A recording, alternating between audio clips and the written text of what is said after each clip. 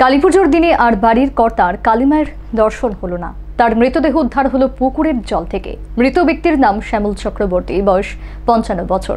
ঘটনাটি ঘটল কমলাসাগর নতুন কলোনি এলাকায় মঙ্গলবার সকালে। এই নিয়ে পুরো এলাকায় শোকের আবহ। বাড়িতে কালীপুজো। তবে এই দিনই এক ব্যক্তির মৃতদেহ উদ্ধার হলো পুকুর থেকে। ঘটনা কমলাসাগর নতুন কলোনি এলাকায়।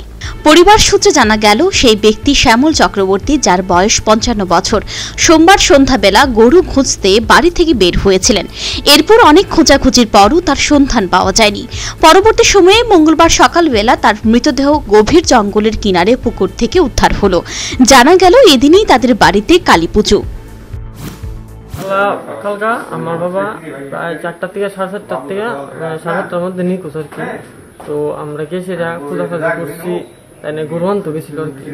তো তাই নিয়ে একটা মানে রোগ আছে তো ওই রোগটার কারণে মনে হয় মোড়ার থেকে নিচে পড়ে গেছে গা মানে পুষ্কিনের মধ্যে পড়ে- গেছে গা পড়ে সেটা মারা গেছে। তো অনেক খোঁজাখাজি করছি কিন্তু পাইছি না আমরা। বাড়ির মধ্যে কালী পূজা টালী পূজা কালী পূজা আছিল তো মানে আমরা বেশি ভাবে ভালোভাবে খুঁজে যা দেখছি কিন্তু পাইছি না। তোমার কি হয়? আমার বাবা। নাম কি? নাম শ্যামল চক্রবর্তী। বাড়ি কোন জায়গা?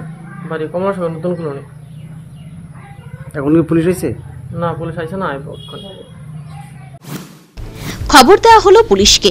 ঘটনাস্থলে ছুটে যায় মধুপুর থানার পুলিশ। তবে বাড়ি থেকে বের হবার পর প্রয়াত শ্যামল চক্রবর্তী কোথায় গিয়েছিলেন এর কোনো হদিশ কেউই বলতে পারলেন না। তবে এটা কি হত্যা না আত্মহত্যা তা নিয়ে এখন তদন্তে নেমেছে পুলিশ। পুজোর দিনে বাড়ির কর্তাই মৃত্যুর কোলে ঢলে পড়লেন। এর পেছনে অন্য কোনো রহস্য রয়েছে কিনা তাই এখন খতিয়ে দেখছে police. Bureau report, News Vanguard.